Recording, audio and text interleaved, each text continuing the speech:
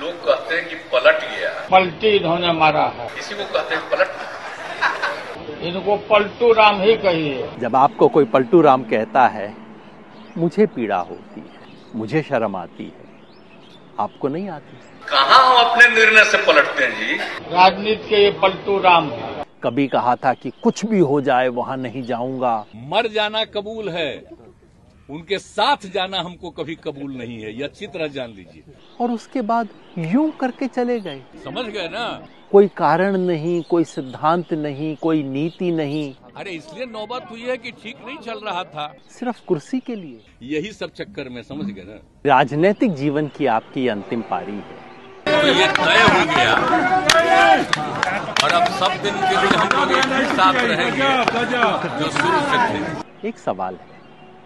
इस अंतिम पारी में मुँह काला करवा के जाना चाहते हैं आप। अभी खेल शुरू हुई है। अभी खेल बाकी है। टीवी में कुछ दिन पहले तक खबर चल रही थी नीतीश कुमार के बारे में कि पलटू राम है ये है वो है। कल देखे आज तक में खबर चल रही थी चित्रा त्रिपाठी वाले में कि तेरे चेहरे में वो जादू है।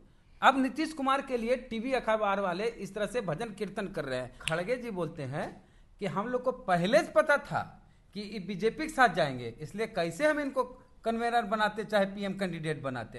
ये सूचना तो हमको बिहार के डिप्टी चीफ मिनिस्टर और लल्लू प्रसाद दोनों ने दिए थे और आज वो सच हुआ। ऑपरेशन करेंगे ललन सिंह जदयू का। बिहार में सरकार पलट गई है नीतीश कुमार चल गए हैं वापस बीजेपी के साथ जो कहते थे मिट्टी में मिल जाएँगे भाजपा के साथ नहीं जाएँगे मर जाएँगे लेकिन उधर नहीं जाएँगे। मर जाना कबूल है। उनके साथ जाना हमको कभी कबूल नहीं है। यह अच्छी तरह जान लीजिए। एक लाइन और उसमें जोड़े थे कि इनके बाबू जी को फंसा दिया गया है। तेजस्वी यादव की तरफ़ इशारा करके नीतीश कुमार कह रहे थे कि इनके पिताजी को फंसा दिया गया है। बिना मतलब का इनके पिताजी पर सब पर केस फेस करके क्या कर दिया था? तरवीर हसन साहब है आरजेडी के सीनियर लीडर हैं बेगूसराय से आते हैं बेगूसराय चुनाव भी लड़ते हैं लोकसभा का। क्या कहिएगा सर? ला, लालू जी को छोड़ दिए उनके भाई छोटे भाई नीतीश कुमार। नीतीश कुमार तो ऐसा करते ही रहे हैं पिछले बार भी किए थे। टहलते हुए आते हैं टहलते हुए चले जाते हैं। भाजपा नीतियों से वो सहमत हैं। इसलिए हमेशा भाजपा की तरफ़ उनका रुझान रहता है। इसलिए आज जब वो चले गए हैं और सरकार गिरा दी गई है तो यहाँ पर ईडी की कार्रवाई भी हो गई है तेज। यही इससे कनेक्शन जुड़ा हुआ है। वहाँ हेमंत सोरेन की गिरफ्तारी के लिए हर जगह हर जगह गई हुई है। गिरफ्तारी करे जाने ईडी गई हुई है। जहाँ कहीं भी सरकार के विरोध में लोग खड़े हैं हाँ। और जब से इंडिया गठबंधन का गठन हुआ है हाँ। तब से भारतीय जनता पार्टी को अपना विरोध एक शेप लेता हुआ नज़र आ रहा है। इसलिए वो विरोधी को चुन चुन के उसके उसको सजा देना चाहते हैं। अच्छा सर आपके इंडिया अलायंस के बड़े नेता हैं खड़गे साहब मल्लिकार्जुन खड़गे। वो बोले कि जैसे कि के, के, त्यागी जी बोल रहे थे नीतीश कुमार की पार्टी वाले कि ना इनको कन्वेनर बनाया ना पीएम कैंडिडेट बनाया इस तरह की बातें चल रही थी। तो उधर से खड़गे जी बोलते हैं कि हम लोग को पहले से पता था कि बीजेपी के साथ जाएँगे इसलिए कैसे हम इनको कन्वेनर बनाते चाहे पीएम कैंडिडेट बनाते। तो जब पहले से पता था कि नीतीश कुमार बीजेपी के एजेंट है तो फिर आप लोग के साथ पहले आप लोग ने क्यों नहीं उनसे अलग होने का निर्णय उनको आभास मिला होगा हाँ। लेकिन आभास ऐसा नहीं होता है कि वो घटित हो ही जाता है। हाँ। आभास मिला होगा पूरा विश्वास नहीं हुआ होगा। हम्म। लेकिन अब जब घटना हो गई है तब उनको अपने आभास पर पूरा विश्वास वरिष्ठ पत्रकार है सर उर्मिलेश जी। वो भी बोले हैं कि उनकी बातचीत एक जदयू के सांसद से हुई थी तो वो बता रहे थे जो भी 2024 में हम बीजेपी के साथ चुनाव लड़ेंगे। तो अब उनको लग रहा है कि वो सही बोले थे। तो कई क्लू आपको मिल रहे थे। लालू यादव इतने कदावर नेता हैं इतना अनुभव उनके पास है और इतने करीबी नीतीश कुमार को पहचान नहीं पाए जो कहते थे लालू यादव पेट में दांत है हाथ में दांत है जहरीला दांत है सदन में बोलते थे नीतीश कुमार के सामने बोलते थे। बात यह है कि लालू यादव ने हमेशा बीजेपी को रोकने के लिए बहुत सारे ऐसे कठोर निर्णय लिए हैं, जैसे नीतीश जी को समर्थन देना। तो उसी मोह में, उसी परिस्थिति में इस तरह की बातों को पूर्ण रूप से वो ये अपने ऊपर नहीं लेना चाहते होंगे। कि हम कहीं सरकार गिराने के दोषी न ठहरा जाएँ। इसलिए उन्होंने ऐसा सोचा होगा क्योंकि भारतीय जनता पार्टी को रोकना उनके लिए सबसे पहला कर्तव्य था हम्म। यानी कि बीजेपी को रोकने के लिए हर सबसे सबसे पहला एजेंडा उनका लालू जी का है। अच्छा सर टीवी में कुछ दिन पहले तक खबर चल रही थी नीतीश कुमार के बारे में कि पलटू राम है ये है वो है। कल देखे आज तक में खबर चल रही थी चित्रा त्रिपाठी वाले में कि तेरे चेहरे में क्या जादू है। और नीतीश कुमार की फ़ोटो लगी हुई है। तेरे चेहरे में वो जादू है। अब नीतीश कुमार के लिए टीवी अखबार वाले इस तरह से भजन कीर्तन कर रहे हैं कि तेरे चेहरे में वो जादू है। कैसे? मैंने कैसे चेंज हो गया सर परसेप्शन तो गोदी मीडिया का अपना एक परसेप्शन है हाँ। जो पहले से बना देती है ताकि वो उनको भी कुछ दो चार दिन तक टीआरपी बढ़ाने का मौका मिल सके। हाँ। हाँ। अच्छा सर आप ही के बेगूसराय से एक लोजपा के विधायक जीते थे चिराग पासवान की पार्टी के। उनको नीतीश कुमार लेकर चल गए। अपने मिला लिए। बहुजन समाज पार्टी से एक जमा खान जीते। उनको नीतीश कुमार अपनी पार्टी में लेकर चल गए। तो दलितों की दो पार्टी एक लोजपा एक बसपा उसके विधायक को नीतीश कुमार तोड़ के लेके चल गए। और नीतीश कुमार दलित हितैषी बनते हैं।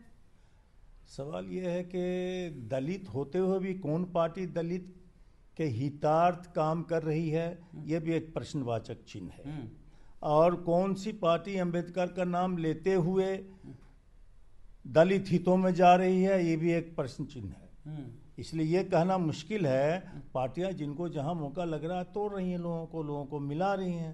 अब भाजपा को मौका लग रहा है तो नीतीश जी जैसे सॉफ्ट चारा को उठा के ले गई जब चाहती है ले जाती है।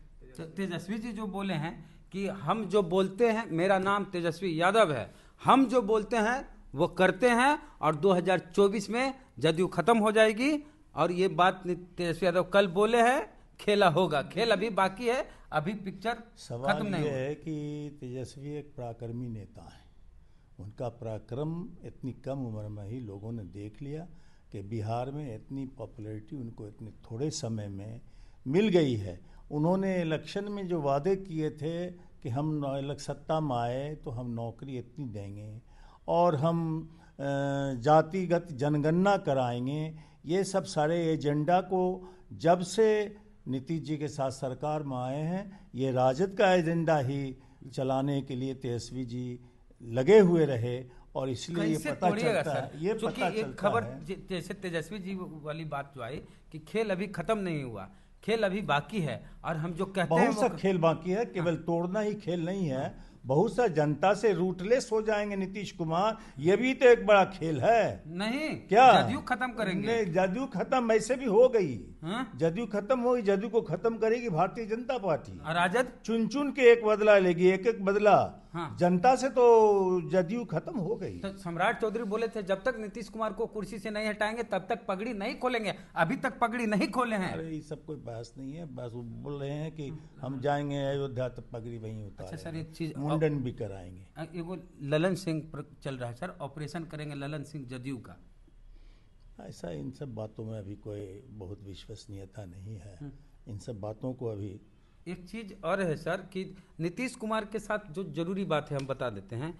उनकी पार्टी के एक नेता, आरसीपी सिंह, भाजपा के साथ मिलकर जदयू तोड़ने वाले थे, तब नीतीश कुमार आगे डर से राजद के साथ।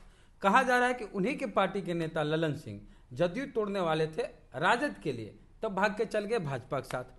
तो फिर तो भाजपा ऐसा कर सकती है, सर? हमेशा कर सकती है और जब तक नीतीश कुमार इस परपंच में रहेंगे तब तक उनको फॉलो करेंगे। हाँ, फिर भाजपा तोड़ने लगेगी जदयू फिर आपके पास आएँगे फिर मिलिएगा। अब ये समय बताएगा कि हम क्या करेंगे।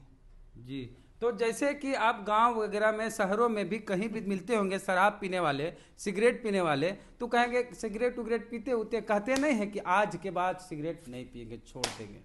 तो उनकी बात पे कोई भरोसा नहीं करते बहुत लोग होते हैं जो कहते हैं कि आज भर दारू पिए हैं इसके बाद कभी नहीं पिएँगे उसके बात पे भी लोग भरोसा नहीं करते। तो कई ऐसे लोग होते हैं जिनकी बात पे भरोसा नहीं किया जाता। वैसे नीतीश कुमार जब राजद के साथ जाते हैं तो कहते हैं, मिट्टी में मिल जाएँगे, लेकिन भाजपा के साथ नहीं जाएँगे। तो लोग भरोसा नहीं करते। फिर कहते हैं, मर जाएँगे, लेकिन उधर नहीं जाएँगे, भरोसा नहीं करते। तो नीतीश कुमार की हालत वैसी ही गई, उनका हाल वही हो गया, उनकी विश्वसनीयता वही है। जैसे सिगरेट पी के लोग कहते हैं कि आज के बाद सिगरेट छोड़ रहे हैं तो कुछ लोग पूछ देता है, कितना घंटा के लिए छोड़ रहे हैं?